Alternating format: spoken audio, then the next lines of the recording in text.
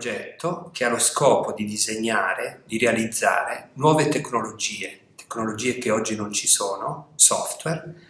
eh, per dare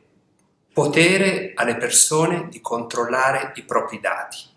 Questo verrà fatto utilizzando altre tecnologie che ci sono già, che verranno implementate, come per esempio le tecnologie di eh, registro distribuito, le tecnologie che oggi sono utilizzate per esempio per Bitcoin. E il ruolo di Nexa in questo progetto è quello di contribuire al lavoro di analisi legali, legale, eh, quindi analizzando i profili sia di diritto d'autore, sia di privacy, sia gli altri profili legali che emergeranno nel disegno di questa nuova tecnologia.